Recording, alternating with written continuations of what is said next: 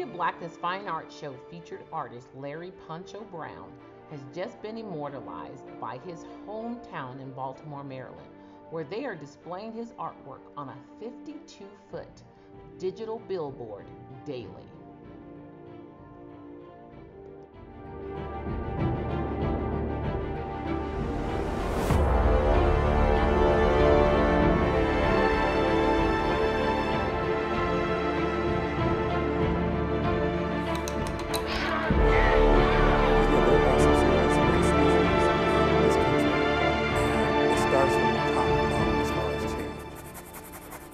Black children are still afraid. Charly Palmer uses his art to tell stories. I love black people. I love my people.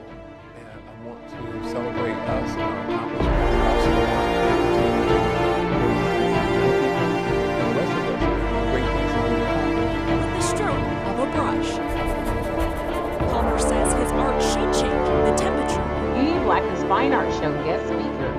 Palmer was selected to the July 2020 cover for the